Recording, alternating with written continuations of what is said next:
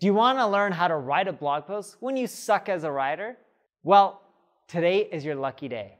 Hey everyone, I'm Neil Patel, and today I'm going to break down how to write amazing blog posts without being an expert in your niche the copy and paste process. Before we get started, make sure you subscribe to this channel, and if you're on YouTube, please click the alert notification. Now, I have a question for you before we get started. Have you ever written a blog post? If you have, let me know how many posts you write on a regular basis in the comments below. And if you haven't, just let me know with a no. I'm just curious how many of you actually write content on a regular basis. And I'm hoping that this video helps encourage more of you to write and it speeds up how long it takes you to write. So step one, start with a problem that your target audience needs to solve. You can use tools like Quora, Reddit, Ubersuggest, questions, prepositions, and comparisons within Ubersuggest, and that will tell you, hey, here's what some of the problems and issues that people have. You know, like just like when you're going on Quora, you see a lot of pain points that people are talking about. This gives you idea on what you should be writing about. Step two, do keyword research. Go into Ubersuggest, Type in some keywords related to your space, and as you typing in these keywords, you'll see a whole slew of suggestions. Do any one of those topics warrant, you know, a separate post? Should you end up creating content around that? If so, great. If not, no worries.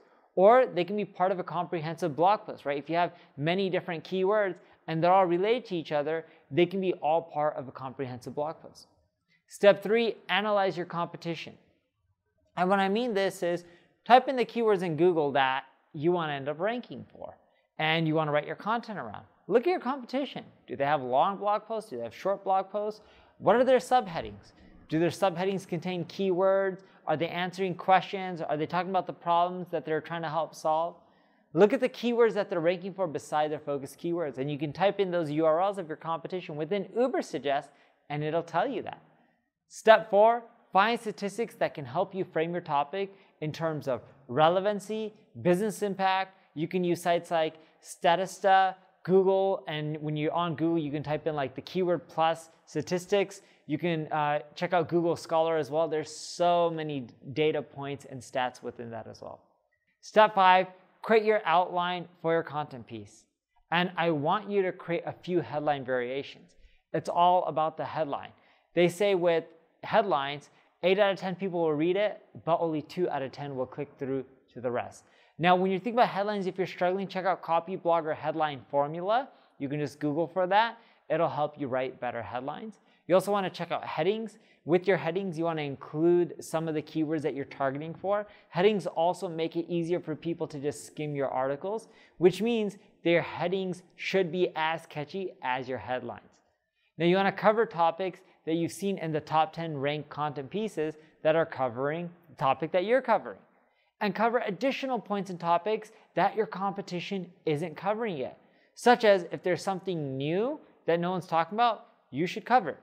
And just as a rough framework for you, when I'm outlining my content, I start with a headline, then I create my introduction paragraph, then I outline the main headings that I want to cover, and those are the main topic points within my article. Then I'll write the conclusion, and the conclusion should be a summary of what people should learn, and then I end the conclusion with a question mark. That's because it causes more people to leave a comment below, which then helps boost your engagement with your content and you get more loyal readers. Now, question for you is, do you leave a question at the end of your blog post? If you do, just let me know with a yes below. If you don't, just say no, I don't leave a question at the end of my blog post. And I'm curious. And if you say no, you should consider trying it. It's a very effective trick. Now, bonus tip, use tools like Jarvis.ai that can do a lot of the work for you. It can help you with the outlining process and it can write part of your content. It's not perfect where it'll write your whole blog post for you, but it can roughly save you maybe 30 minutes to hour depending on uh, how prolific of a blogger you are when it comes to writing your own content. Now, if you need help with your content marketing, check out my ad agency, NP Digital, where we write content for our clients. Or if you just have a question, leave a comment below and I'm here to answer it and help you out. If you enjoy the video, like it, share it, tell the people about it. Thank you for watching.